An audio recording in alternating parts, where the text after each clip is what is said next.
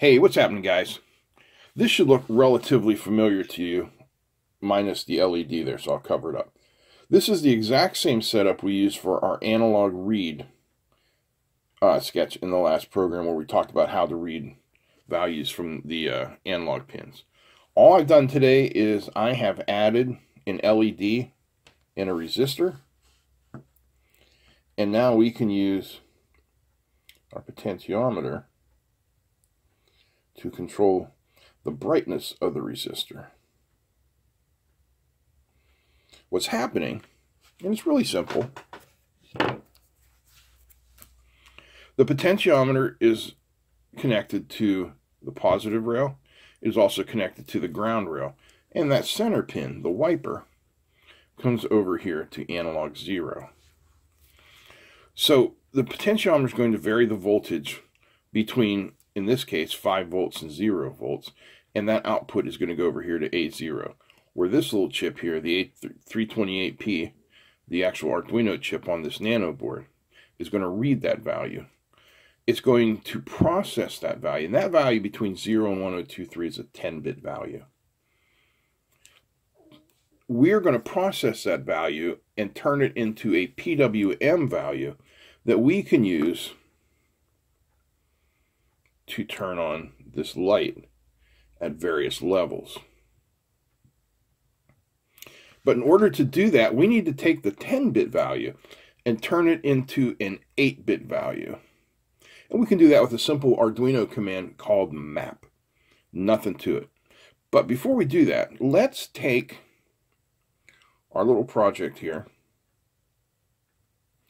and hook it up to the oscilloscope so you can actually see the waveform here, okay? Give me one second to put things together. Okay, we're set up here. And currently, we are turned all the way down so you see nothing. Now I'm going to start increasing the potentiometer. And look at that. You start to see something.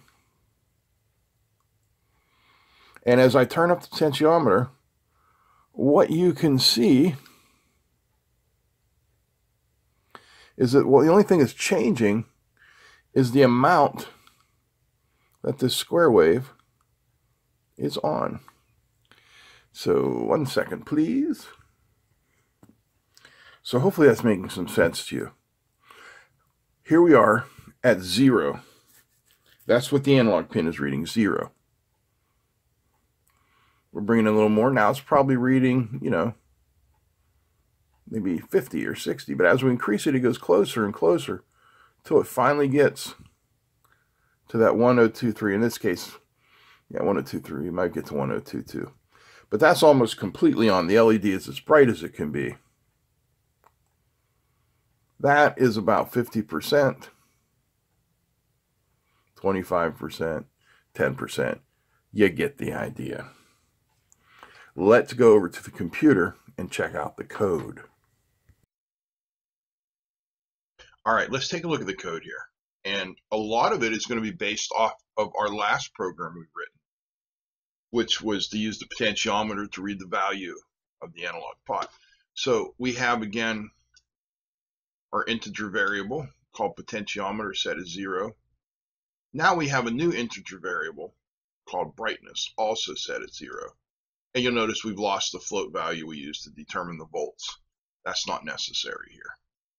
So we begin our setup. We're going to start again by telling the pins how we want them to behave. Do we want them to be inputs or do we want them to be outputs? So analog 0 is going to be an input and digital 3 is going to be an output.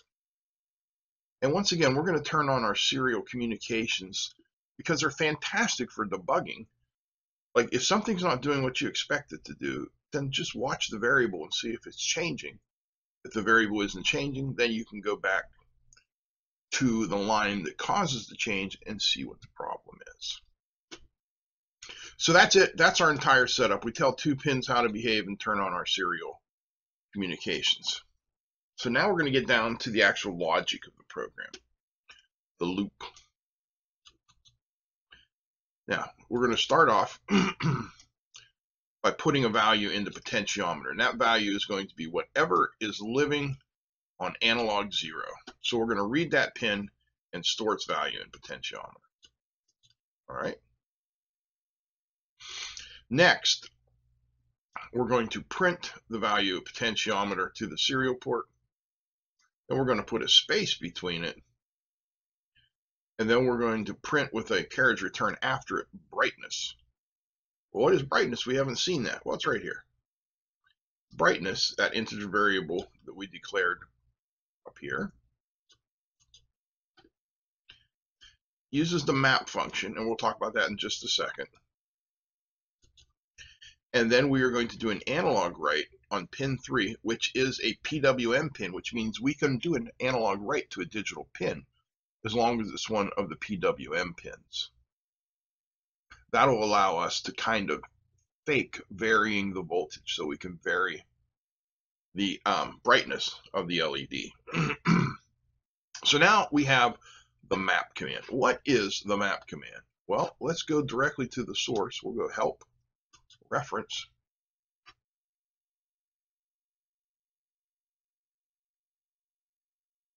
and we'll find it.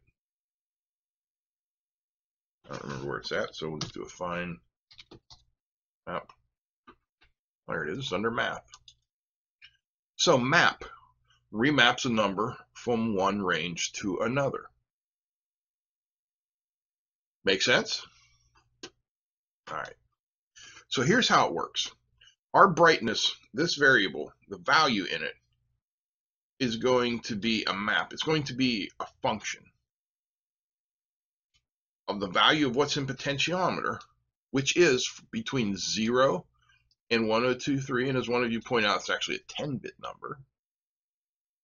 And then we're going to map those numbers between 0 and 254, which is an 8-bit number. That's something that we can use.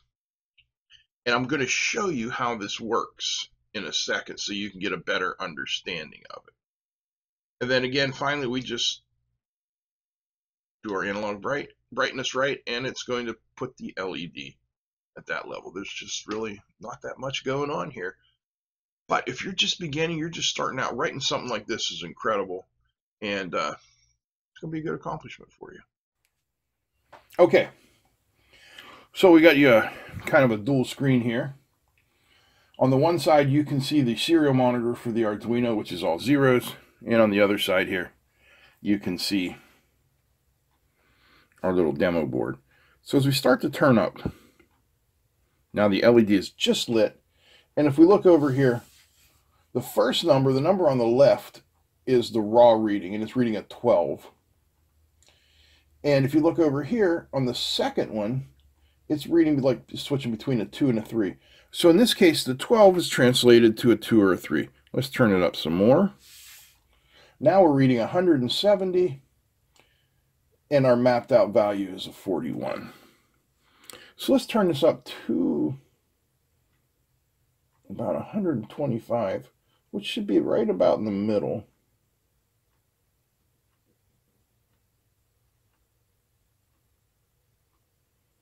Somewhere in that area. It's right about in the middle. And as you can see, our left numbers are right around 500. Our right numbers are around 130.